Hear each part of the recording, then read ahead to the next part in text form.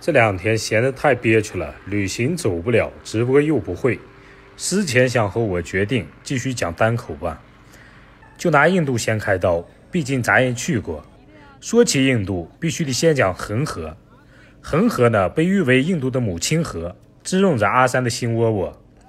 有老铁就问，为什么恒河水那么脏，洗啥的都有，还有人喝？你听我慢慢给你道来。大家都知道，印度人大多数上完厕所他不用纸，完事儿都是用水冲，而且印度经常断水。有一天，一个住在恒河边上的人上完大号，他正好赶上家里停水了，情急之下，这个人提着裤子就来到恒河边，撅起腚就洗。而这个人他常年患有痔疮，说来也巧，到恒河洗完之后，痔疮再也没有犯过。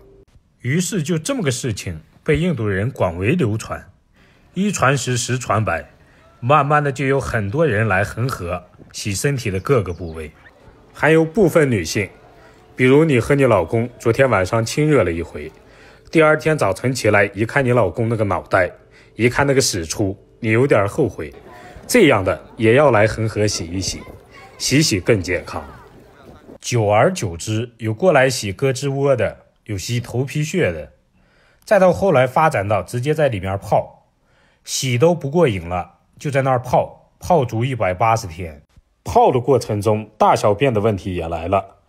阿三一想，索性直接在河里解决算了。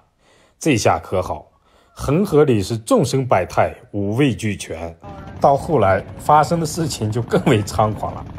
他们在人死后，把人直接抬到恒河边上，火烧。